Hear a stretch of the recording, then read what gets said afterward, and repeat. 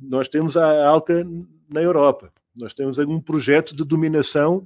uh, e temos um projeto de integração capitalista europeu uh, que está uh, a ser uma testa de ponta, está a ser um, um fator fundamental de, de, de ofensiva brutal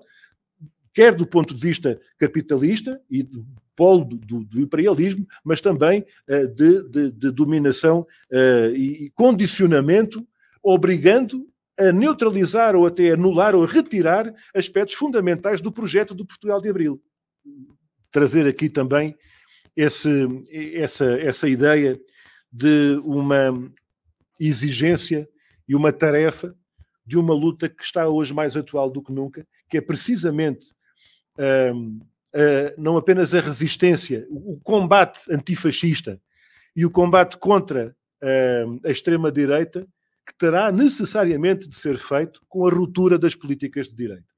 E este é um tema que marcou muito o processo revolucionário,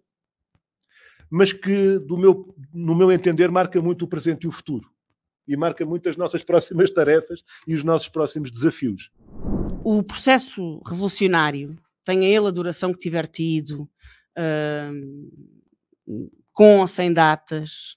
mas tendo existido, ele deixou marcas profundas na, na democracia parlamentar portuguesa e, desde logo, como é evidente, uh, na, uh, na Constituição. Durante muitos anos, os partidos à esquerda do Partido Socialista propuseram como a solução estratégica para o país reabrir Abril e, portanto, reabrir o processo revolucionário. A UDP chegou a ter, uh, não sei se nos anos, final dos anos 80, um slogan que era Abril de novo com a força do povo. Julgo que um, esse, esse, esse quadro já não, ou seja, já não se coloca uh, nos, uh, nos mesmos termos hoje, embora o objetivo continue a ser, na nossa perspectiva, reabrir um caminho popular de ruptura.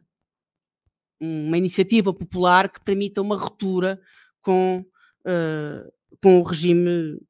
capitalista, neoliberal, uh, imperialista, e, portanto, contra o esvaziamento do conceito de democracia, eu diria, para terminar, que a nossa democracia não foi feita apenas para servir